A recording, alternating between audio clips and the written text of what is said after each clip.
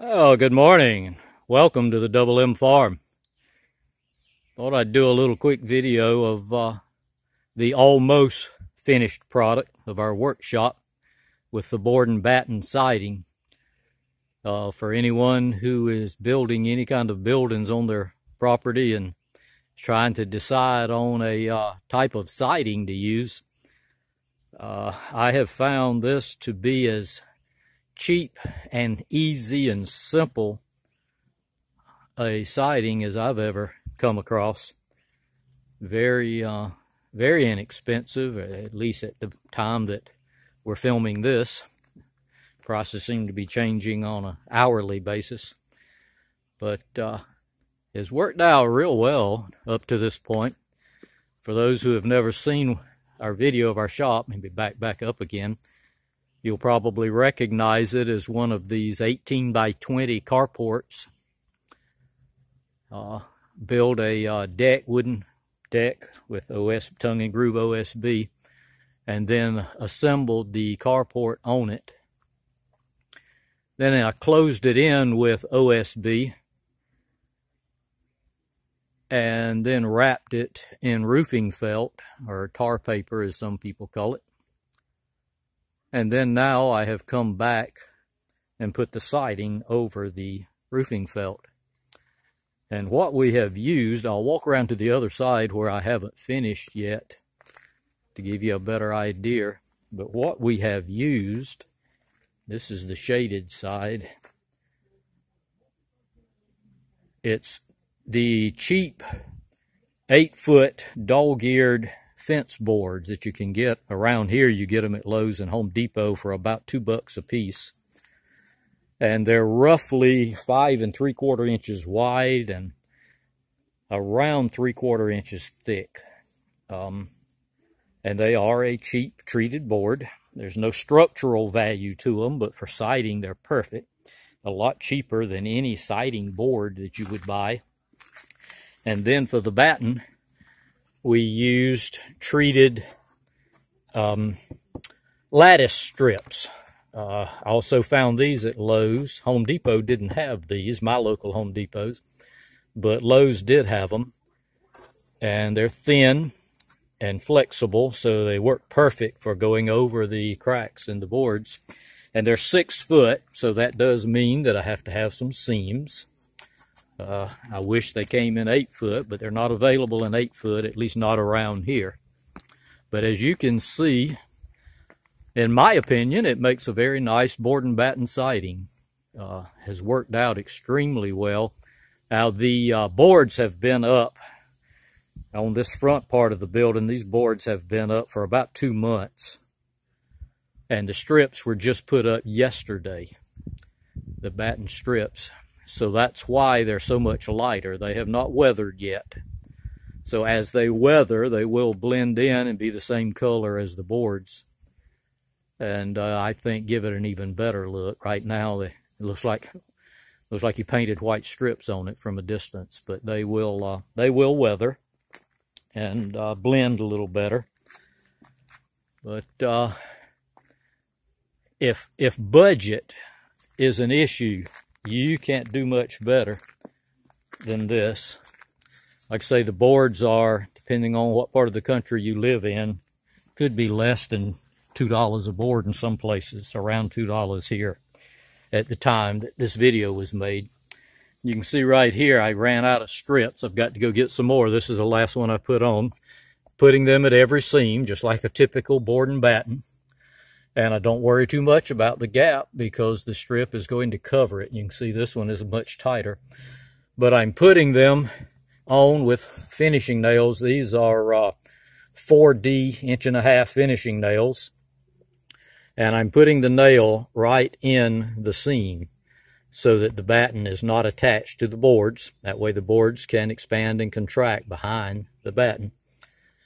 And I've got, uh, this is a roughly a three foot strip, this gap that I'm having to fill. And I've got four finishing nails and that pulls it up good and tight and uh, fills in the gaps. And you can see these dog-eared fence boards. Here's where I ran out of them. There you can see the roofing felt. And uh, I know there are a lot of videos on YouTube showing how to do board and batten siding. And I figure most people watching this know how to run a saw and a hammer. So I didn't film actually putting it up. You know how to do that. Just thought I would give you an idea of what the finished product looks like. So you could make up your own mind if you wanted to try it. Again, if budget is an issue. Uh, let the roofing felt overlap, and then after I get it up, I take a razor blade and trim it off just for looks. And uh, I've got to get a few more. The boards are eight foot, and I can cut them in half. That's a, a four foot. It just worked out that way that that's a four foot gap there. Didn't plan it that way. That's just how it happened to work out when I built the building and closed it in. And uh, it's a six foot tall build, uh, excuse me, five foot tall building on the legs, the five foot legs on the carport. But after I, uh, when I assembled it, it's sitting on a two by six plate.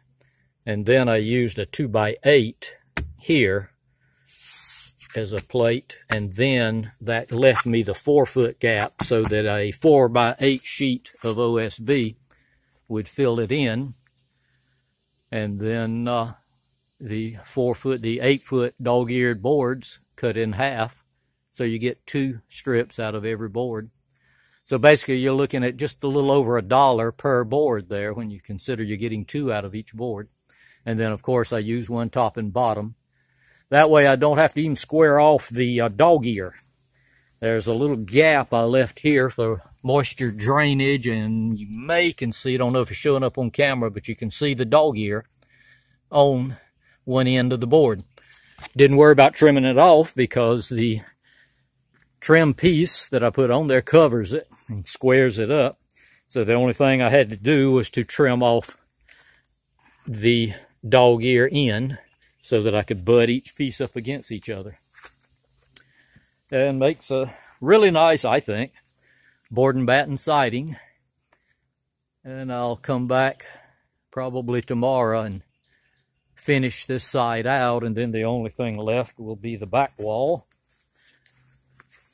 You can see how much slope we have here, how high the building is off the ground on the back side. But we'll have to come back and do the back wall just like we did the front. And uh, I think it'll work out real well. So just wanted to, to share my experiences with this particular board and batten siding and a very efficient. I know if you go and buy boards that are made for siding, they're going to be a lot more expensive than a little over a buck a board. So, uh, again, $2 a board, but when you consider you're getting two out of one board, in my case, now in your case, it might not be that way, but for me, it worked out a buck a board. And speaking of the carport cover, I bought this thing uh, used, already taken down, laying on a guy's farm. He had taken it down, quit using it, and I bought it for 200 bucks. And with material and everything, I've wound up with a workshop 18 by 20. Uh, and it's about seven and uh, not quite eight foot. That, that door is seven foot four foot by seven foot. I used a sheet of uh, OSB on the inside of it and then put the siding on it. So it's four foot wide and I cut one foot off of it. So it's a seven foot door to give you an idea of the top. So it's roughly right at eight foot to that peak from the floor. And uh, just simplified everything, made a lot less cutting. And so what I have wound up with is a very nice 18 by 20 workshop and storage building. Got overhead storage. Got a lot of junk piled up in here. Have a little office area for my farm operation over here with my computer and CB radio. And uh, then got uh, workshop, workbench area over here in this corner. And then the rest will be uh, used for storage lots of open storage. You can put up shelves, you can do just about anything with. Bottom line is I've wound up with an 18 by 20 workshop storage building and I've got less than $3,000 in it total with everything that I have used. Uh, so can't beat that. I don't think you can go buy one of these portable buildings in an 18 by 20 size for um, for less than $3,000. Uh, you may can in your area. You sure can't in my area. So, didn't mean to be so long-winded. But I wanted to share my experiences with uh, what I call a very simple and inexpensive board and batten siding for pretty much any building that you may be interested in putting siding on. So thank you for visiting us here at the Double M Farm, and we'll talk to you again real soon.